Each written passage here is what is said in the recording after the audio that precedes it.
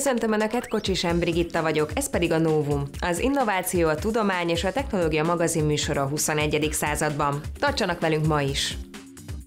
A Citera születése. Ellátogattunk Gulyás Ferenc népi hangszerkészítő mester műhelyébe. Digitális múzeumok, keltsük életre a kiállításokat. Furánflex és eFusion, újabb különlegességek az innovációs nagydíj átadásáról. Újítókedvű egyetemisták, ötletdömping a Lágymányosi kampuszon. Belépési engedély, az Iparművészeti Múzeum egyik legkülönlegesebb raktárában jártunk.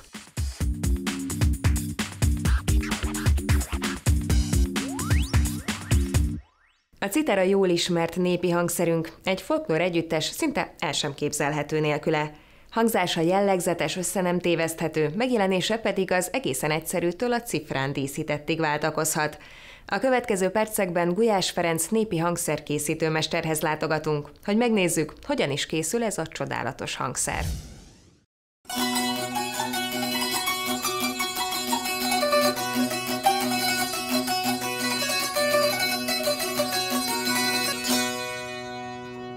A citera ősi hangszer, már a neolitikum korából is vannak a létezésére utaló leletek.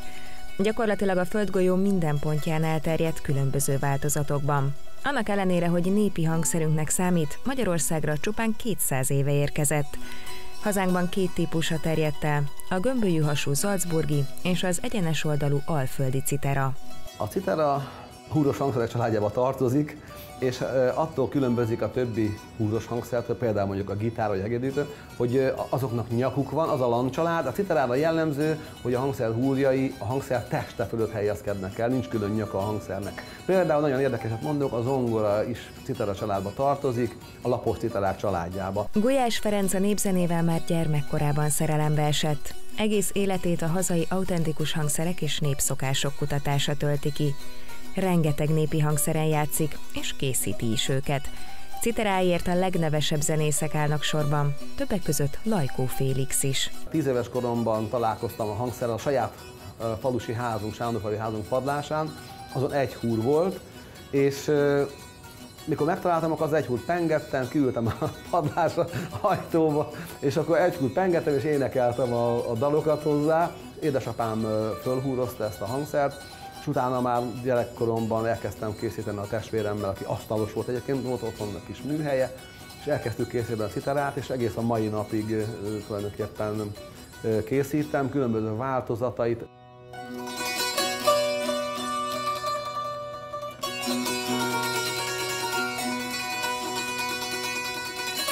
De hogyan is áll össze a hangszer?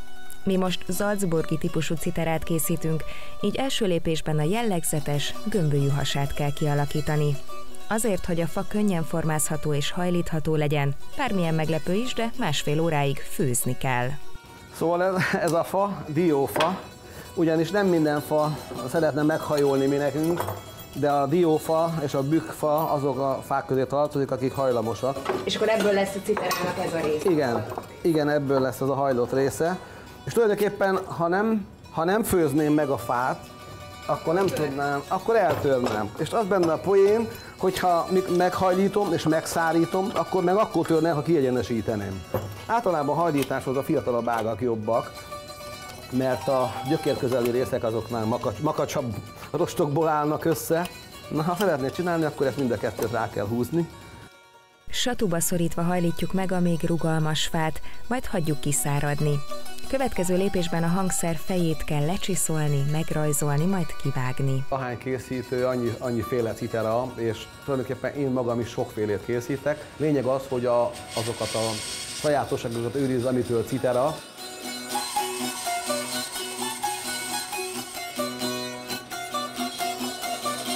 Miután a hangszer feje és minden darabja előkészült, ideje összeragasztani a citerát, hogy megkapja egyedi karakteres formáját.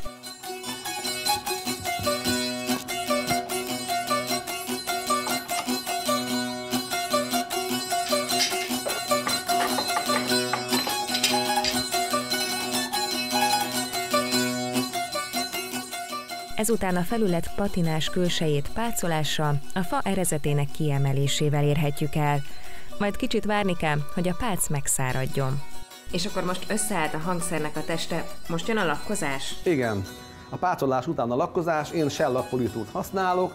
A shellak egy olyan gyanta, ami az egyedül, ami, ami nem növényi, hanem állat eredetű. Ez egy úgynevezett laktetű, Dél-Kelet-Ázsiában most laktetű, az ivadék gondozás az termel egy váladékot, amit lerak a fiatal fahajtásokra, és ezt leszedik az ott ezzel foglalkozó emberek, és forró vízben megfőzik, kivonják a színanyagát, és utána átpréselik ilyen zsákszerű anyagokon, és utána ez a sellak, amit mi megveszünk. Ezt kell denaturált szeszben feloldani és megszűrni, majd kenhetjük is. A citerára nem kevesebb, mint kilenc réteg lak kerül. Számos utómunkát követően aztán végleges formát ölt a hangszer, készen arra, hogy csodálatos muzsikával ajándékozzon meg bennünket.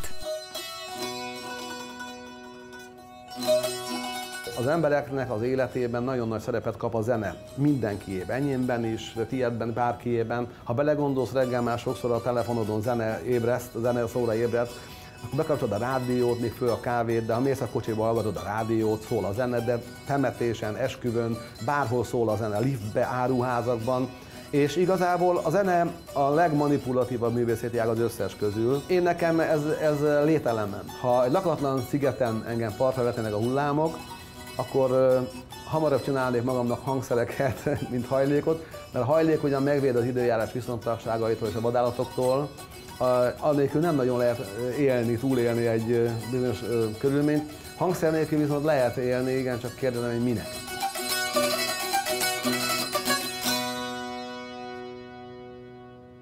A hagyományos múzeumok unalmasak, kevesen látogatják azokat. Ezt az erős mondatot nem én fogalmaztam meg, hanem Tázdó József, a Cisco Systems Magyarország Kft. műszaki igazgatója. Van azonban egy jó híre is. A digitális technológiák segítségével korszerűsíthető a hagyományos múzeumi modell. Hogy hogyan? Már is mutatom. Azt hiszem nem kérdés, hogy egy múzeumban járunk. Ódon falak előtt megvilágított vitrinek rövid információs táblákkal. Így jelnek a fejünkben a kiállítások. Pedig lehet másképp is, például így.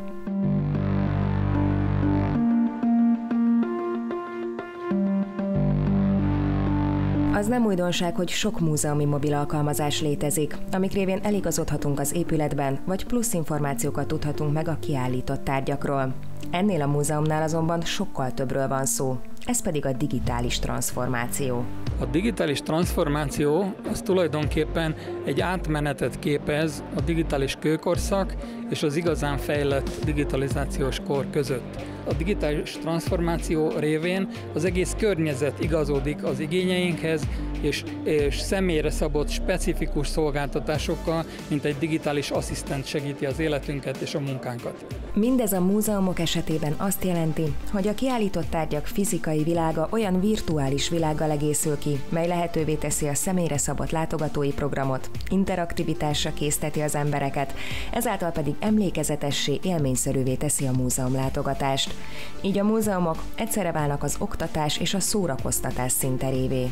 Amikor a múzeumokban látható műtárgyaknak a digitális képét és a hozzájuk tartozó információkat bemásoljuk egy múzeumi adatbázisba, akkor létrejön egy avatár, és létrejön egy olyan virtuális másolat, amelyiket, hogyha kiterjesztjük, ennek a szolgáltatását kinyitjuk az internet felhasználói számára, és ráépül erre egy wiki bejegyzés, ráépül weboldal, ráépül a közösségi hálózatokon történő bejegyzés, akkor egy community építünk köré, és természetesen ez a virtuális világ, meg a fizikai világ folyamatosan időről időre kommunikál egymással, visszacsatol. Például megfontolhatóak a látogatók online kommentjei, vagy videókamerákkal mérhető, melyik kiállított tárgynál álltak sokan és sokáig, illetve melyik terem volt kevésbé látogatott. Ezek alapján a digitális információk alapján pedig akár fizikai szinten is átrendezhető a kiállítás. Vannak nagyon jó kezdeményezések szerte a világban, a, számomra pont ezt a, a teljes integrációt és az automatizmusokat is magában foglaló talán legkiválóbb példát, azt az Egyesült Államokban a Clevelandi Szépművészeti Múzeumnak a példáján láttam, de remélem, hogy, a, hogy hamarosan a mi környezetünkben levő múzeumok is ö, ilyenek lesznek, és élhetünk ezzel a lehetőséggel.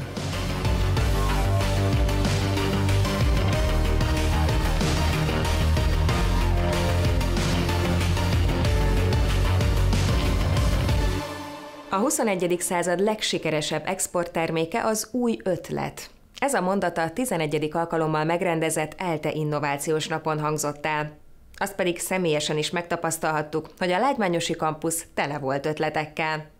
Az egész napos szakmai rendezvényt ezúttal egy Startup Expo-val is megtoldották a szervezők. Emellett a rendezvényen adták át az ELTE Innovatív Kutatója díjat, valamint kihirdették a Hallgatói Innovációs Ösztöndíjpályázat eredményét is. Csupa fiatal ember, akik talán életük első startup vállalkozását indítják, enyhe drukkal, izgalommal és határozott elszántsággal. A szemlélődő számára úgy tűnik, a mobilvilág mindent visz. Mobil alkalmazások tömkelege mutatja, hogy sem az ezek iránti igény, sem a készítői kedv nem hiányzik. Imponáló az egyetemi hallgatók felkészültsége, magabiztossága a témában. Több mint tíz éves múltra tekint vissza az ELTE Innovációs Napja, ahol a hallgatói innovatív ötletpályázat idei díját az informatikai karon tanuló Varholik Máté és csapata szerezte meg. Innovációjuk címe Bird of the Rings. A madárgyűrűzést azt úgy kell elképzelni, hogy a madárgyűrűzők hálókat feszítenek ki erdőkben, mezőkön. Ezek a hálók arra szolgálnak, hogy a madarakat elkapják. A madár becsapódik a hálóba, fogjul esik, és a madár gyűrűző, amikor éppen arra jár, akkor begyűjti a madarat. Nyilván a madarakat senki sem kérdezte meg, hogy mennyire örülnek annak, hogy gyűrűt tesznek a lábukra, és megjelölik őket. Pedig tény, ami tény. A madarak védelmét szolgálja mindez. A mi módszerünk az azt tudja, hogy pontosan megmondja, hogy hova kell menni és mikor. Nem arról beszélünk, hogy egy-két óránként körbe-körbe járkálnak emberek, hanem egy ember az adott időpontban el kell, hogy menjen oda, ahova becsapódott a madár. És itt jön a mobil világ. Azok az eszközök, amelyek itt a hardvert jelentik, tán 5-10 évvel ezelőtt sem léteztek még. Az adatok pedig a felhő alkalmazásban tárolódnak el. Ez a Raspberry Pi egy szabad forráskódú uh, hardware, így néz ki ennyi az egész.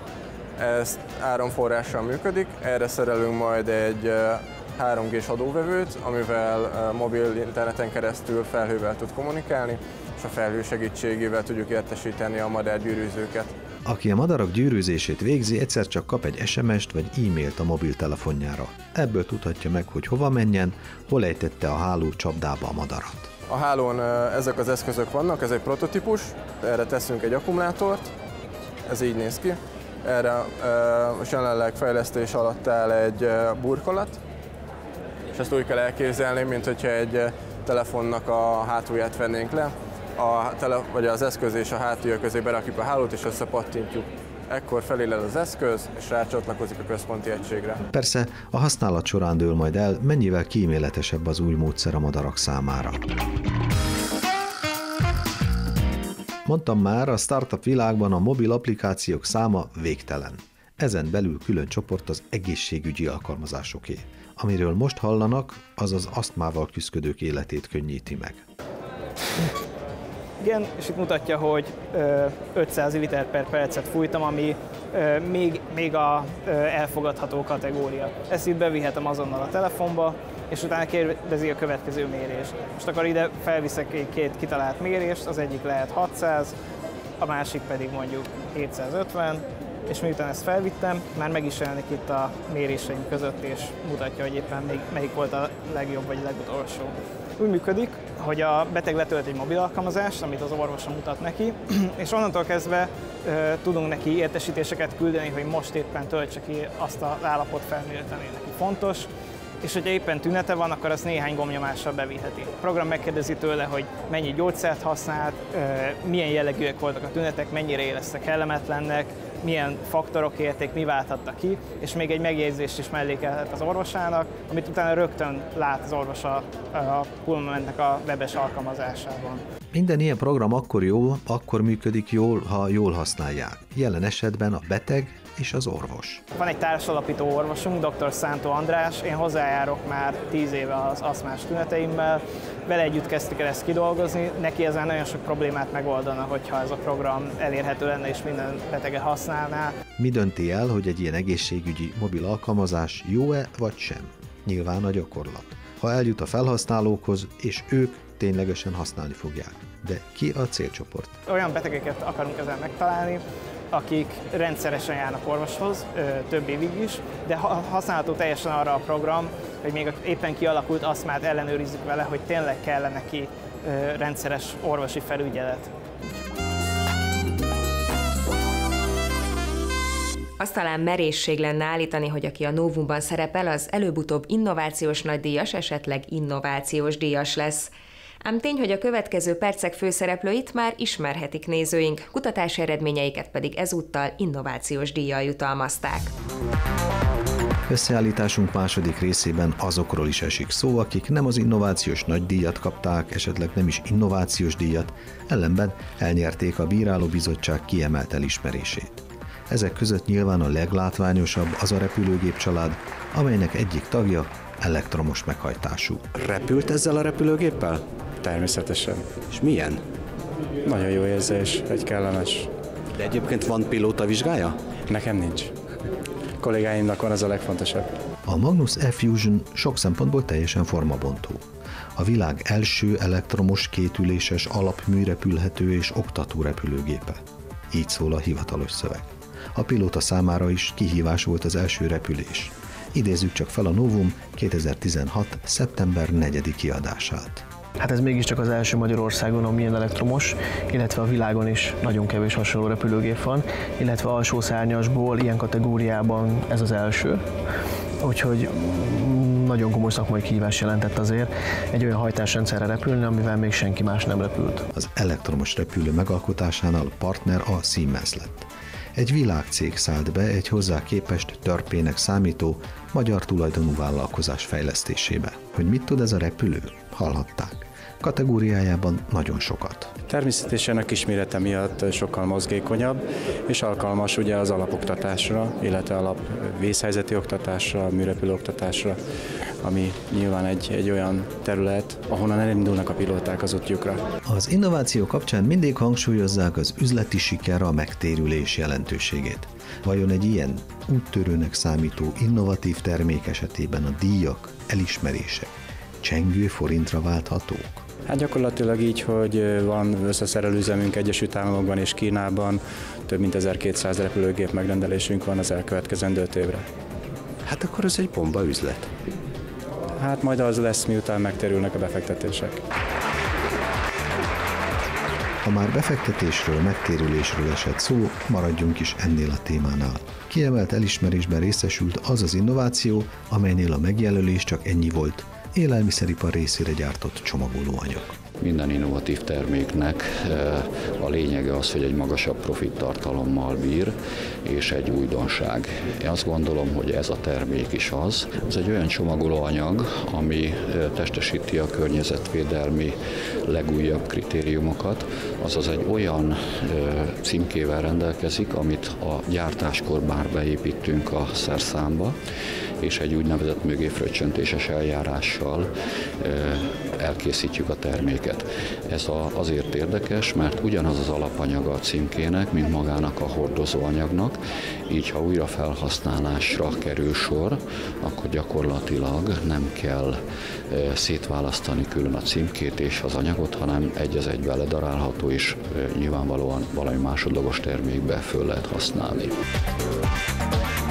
Elektromos repülővel indult az összeállítás. Fejezzük be egy másik elektromos jármű képeivel. Kiemelt elismerésben részesült a moduláris felépítésű kompozit járműtestű elektromos hajtású innovatív városi autóbusz, amire akár föl is szállhatnak Budán a Szélkálmán téren, hiszen a fővárosi utcákat járja jó ideje. Az ember mindig is szeretett kíváncsiskodni, belesni oda, ahová egyébként nem szabad. Éppen ezért kaptunk az alkalmon, és oda mentünk forgatni, ahol tévéstáb eddig még nem járt. Az Iparművészeti Múzeum bútorraktárában jelenleg is zajlik az értékes műkincsek előkészítése az intézmény tervezett felújítása miatt.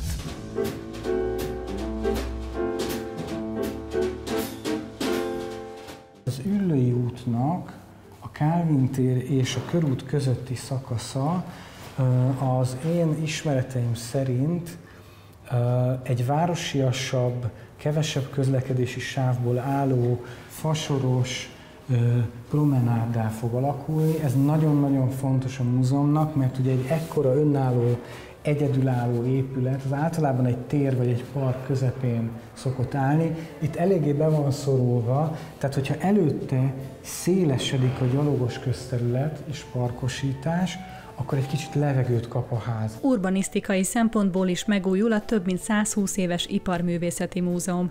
Teljes körű felújítás még soha nem történt itt, és ha hozzávesszük, hogy mennyit változott az elvárás egy modern múzeum felé, joggal állítható, hogy nagyon régóta várt döntés született meg a tavalyi évben.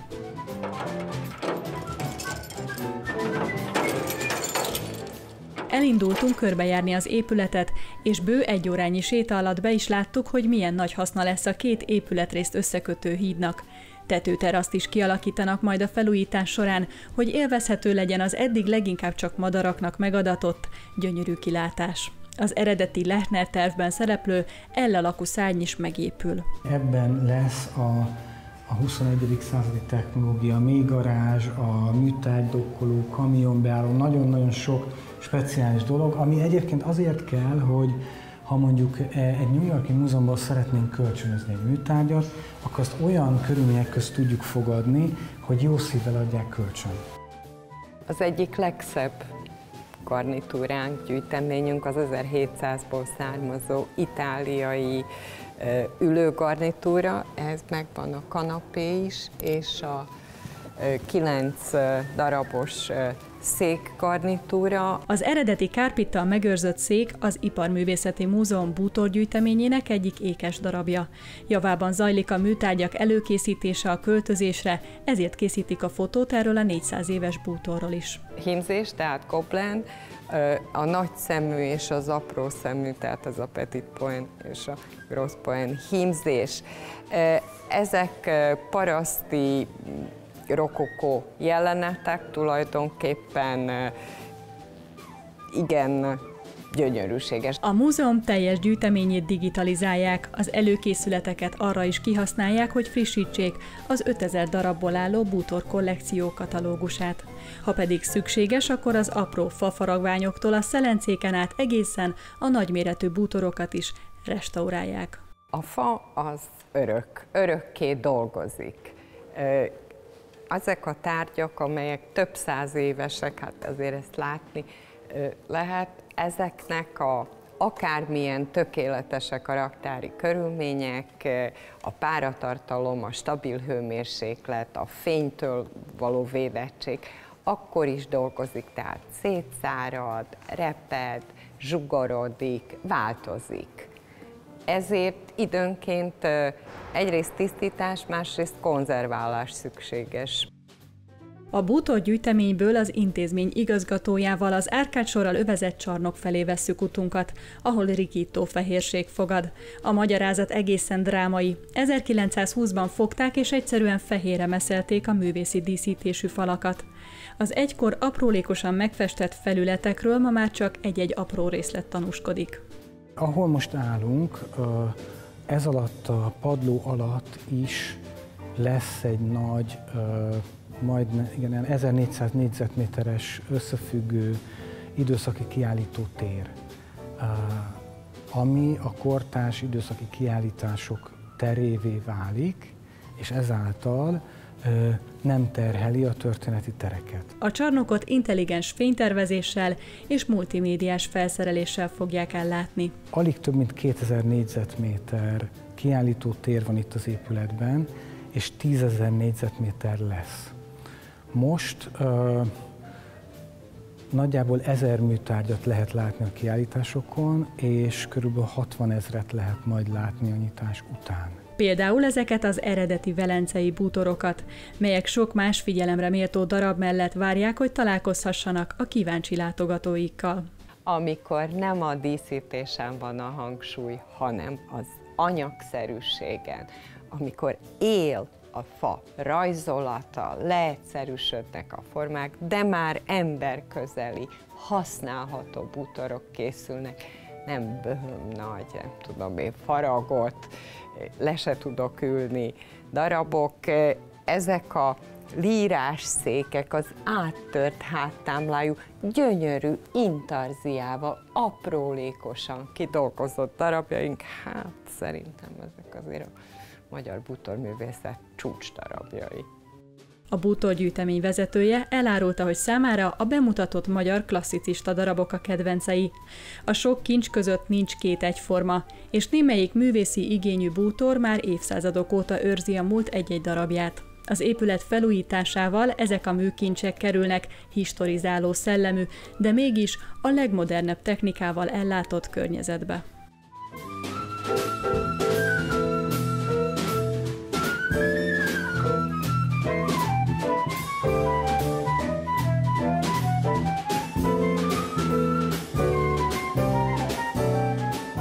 Mai műsorunk véget ért, de egy hét múlva újra várjuk Önöket. Adásainkat természetesen addig is visszanézhetik a mediaclick.hu vagy a novumtv.hu oldalon. Kövessenek minket Facebookon is, hogy az első között értesüljenek a legfrissebb tudományos érdekességekről. Észrevételéket, kérdéseiket pedig várjuk e-mail címünkre, az infokukacnovumtv.hu-ra. Jövő héten találkozunk, viszontlátásra!